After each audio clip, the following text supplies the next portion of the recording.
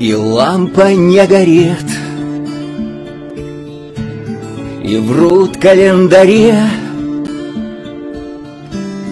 И если ты горишь за Украину, не молчи, а говори. Ведь не опасен звук, страшнее тишина, Страшнее равнодушие своих, когда вокруг идет война.